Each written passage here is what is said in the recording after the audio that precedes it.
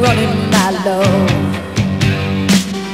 through the back streets of the city, keeping an eye